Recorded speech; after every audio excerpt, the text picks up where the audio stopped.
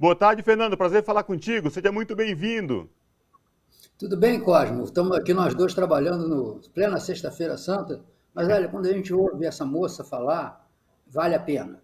É sabe? verdade. É importante que a gente esteja sacrificando aquele vinhozinho, bacalhau para quem pode, não é todo mundo que pode mais, mas o bacalhau para quem pode. Vale a pena sacrificar, porque a gente vê a comoção dessa moça, sabe? É uma gente que nós tomamos a terra dele, nós tomamos o país dele, e agora nós estamos tomando a casa deles, as choças onde eles vivem, a poder de trator, derrubando os troços todos.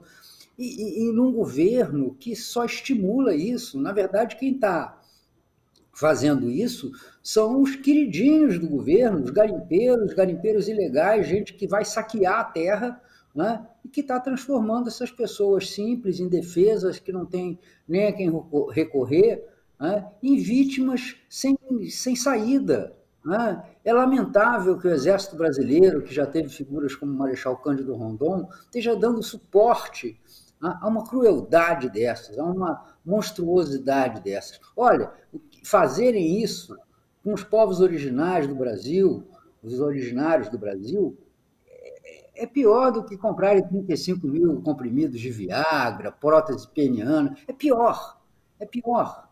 Porque não se trata nem de estar dando um privilégio a alguém, está sendo tirado das pessoas o mais básico, que é o seu próprio, seu próprio lar, a sua própria palhoça lá onde eles vivem.